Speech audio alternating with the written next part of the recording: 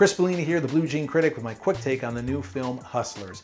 Constance Wu and Jennifer Lopez star as Destiny and Ramona, two exotic dancers who forge a very dear friendship.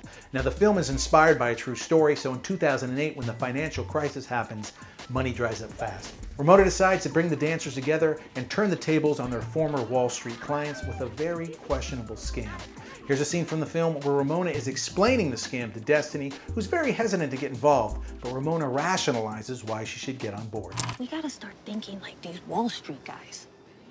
You see what they did to this country? They stole from everybody. Hardworking people lost everything.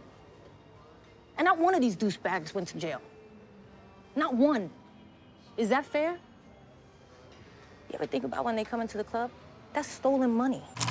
The story is inspired by, based upon true events, which for me is exciting because it makes the story even more compelling, even more engaging. I like how the filmmakers took their time in the beginning, painting a very clear picture of what it's like in the lives of these dancers, the compromises, the hours, the obstacles.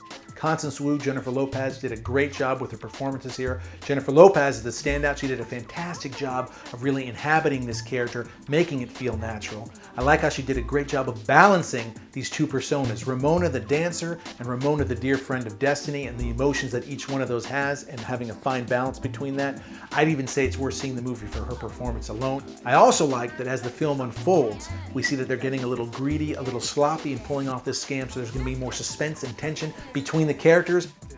Look, the film has a gritty feel to it. It's engaging. There's a lot of suspense and tension. Great performances. So I'm going to say full price on this one. That's my quick take on the new film Hustlers. For more reviews and features, make sure you go to coffeetv.com. I'll see you next time.